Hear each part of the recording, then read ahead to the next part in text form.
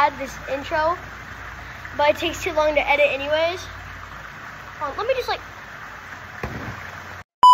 Okay, so today I'm going to the skate park at four, and right now it's one, and I have nothing else to do.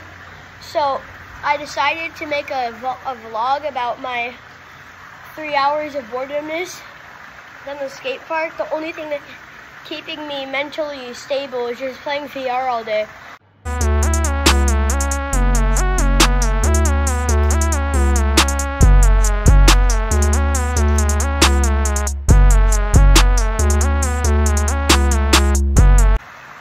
So I'm done with that. So I'm just gonna like